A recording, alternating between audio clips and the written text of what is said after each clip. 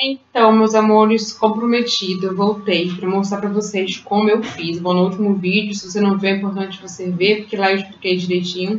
Então, eu voltei para mostrar para vocês como foi que surgiu a ideia de fazer a famosa fatia de bolo que todo mundo tá fazendo, que tá super na moda, tá bom?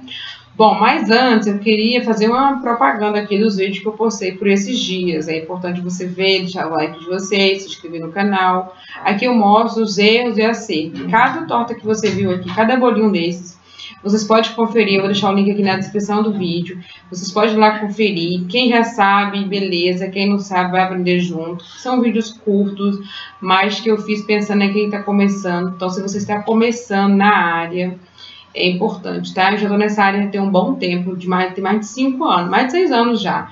E mesmo assim a gente erra e a gente dá um jeito de gente, a gente se vira. Então, se você quer ficar ligadinho aqui no canal e me ajudar, deixa o like de vocês. E se você não viu nenhum desses vídeos aqui, eu te convido a ir lá assistir e deixar o like de vocês, me seguir lá no Instagram, que eu vou deixar o link também na descrição, tá bom? E outra coisa muito importante, eu vou estar postando vídeos de fatias, mas eu não vou esquecer os meus deliciosos bolos no pote. Tem mais receita para vocês. Aqui, só aqui no canal tem mais de 60 receitas de bolo no pote, tá? Mas a gente tá com mais umas 30 ali para gravar. Então eu conto com vocês para conferir todos os vídeos, se vocês não viram vídeo, os vídeos eu vou conferir você para ir lá ver e dizer que eu estou, eu estou no momento fatia, porque é uma coisa prática. E eu expliquei, eu acho para você que está vendendo, é importante dar uma conferida nesse vídeo lá para você entender o porquê. Até porque também você vai achar um pouco estranho, porque essas fatias estão super na moda, alta, aquele recheio enorme. E lá no vídeo eu vou explicar a você qual foi o motivo na qual eu comecei a fazer. Aqui no canal a gente tem receita de pão de mel no pote, tem pão de mel banhado, tem pão de mel na forminha, tem receita de docinhos, mas acho que vamos logo lá para nossa receita. Aqui eu bato o bolo, a massa de pão de ló, com seis ovos, tá bom? E divido em duas partes, beleza? Eu acho que eu vou voltar Assim que eu postar esse vídeo, eu vou botar com a, como eu fiz a massa, porque como eu vou separar metade de chocolate, então essa metade que ficar eu não posso bater muito, então eu vou confluir delicadamente. É exatamente isso aqui que eu quero, tá vendo? Uma de chocolate e a outra de baunilha. E aí agora a gente vai pro recheio. Qual recheio, Cris? Bom, nesse caso da de chocolate, eu vou estar usando daquele mesmo jeito. Aí aqui, gente, não é igual a que eu monto para vender decorada, não simplesmente que eu corto ao meio, então uma camada de recheio, molho com a nossa calda que já tem aqui no canal, eu vou deixar o link aqui na descrição para vocês estarem lá conferindo.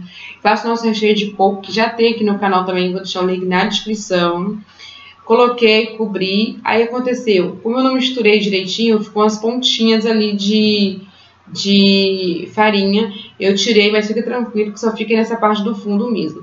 Feito isso, molhei novamente, aí fiz uma ganache, aqui no canal já tem ganache, tradicional, tem a ganache também. Vou deixar todos, todos os vídeos citados, eu vou deixar na descrição do vídeo. Tem também ganache de com Nutella, tá bom? Aqui é simplesmente colocar a camadinha em cima, deixar escorrer, passa a colher pra gente tampar essa lateral e ficar como a gente grudar ali um pouco para decorar. Isso se você quiser, se não quiser, quiser também, pode deixar é, sem passar na lateral, pode cobrir com brigadeiro de bico, enfim. Aqui eu quero vender uma fatia rápida e que não seja muito enjoativa, porque no vídeo anterior eu falei sobre isso também. Coloquei coco, nada tão decorado, tá, gente? E simplesmente vou marcar e cortar. Quando eu postei a foto, muita gente queria saber peso, cada fatia. Então, postei foto lá também. Então, por aqui dá pra vocês terem uma ideia. Bom, o próximo vídeo vai ser essa deliciosa torta que tá aí do lado que é Romeu e Julieta. Então, se você gostou, deixa seu like, se inscrever no canal e aguardar os próximos aí, tá bom? Beijinho, beijinho. Tchau, tchau.